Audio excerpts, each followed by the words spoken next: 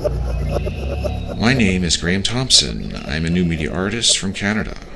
I'm a member of the Métis Nation of British Columbia. Historically, in Canada, the Métis are a mix of Aboriginal and European blood. My show at the SAW Video Media Arts Centre in Ottawa, Canada was covered by CTV's technology show Tech Now with Colin Traithway.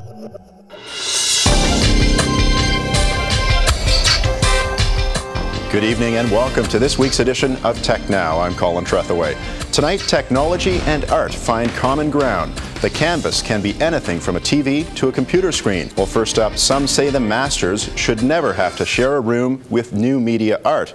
But galleries everywhere are showing off modern day expressions. So called media installations use video, graphics, and sound generated from computer programs to deliver a message. Not many artists have a technology and fine arts degree. Graham Thompson does.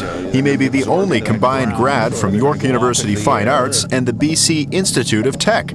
It makes him a perfect candidate to explore the world of new media art. It's very uh, exciting age, and I think that uh, many artists are feeling more and more pulled by the power of this new medium. Thompson spent many years painting. Now he's a professional web designer and he's incorporated his tech know-how in his latest exhibition at Club SAW at the Ottawa Arts Court. I would start initially with a, a microcomputer, a scanner, a digital camera, a video camera, microphones, um, CD-ROM players, and, and just think of all the ways that you can input images and sound into the computer. Graham Thompson believes it's inevitable that art is following media icon Marshall McLuhan's concept that the medium is the message.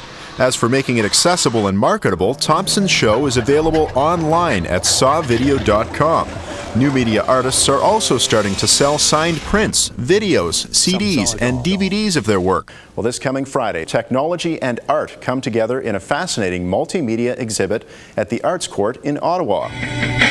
Created by Ottawa new media artist Graham Thompson, the exhibit includes an immersive multimedia installation of video displays and interactive CD-ROM flash presentations. And with the birth of a new life comes a new challenge. Thompson says his work looks at our life cycle in terms of four challenges. The challenge to survive, find a vision, find a path, and learn the wisdom to follow that path. The show is at 8 p.m. this Friday at Club SAW in the Arts Court building across from the Rideau Centre. You can get more info at sawvideo.com.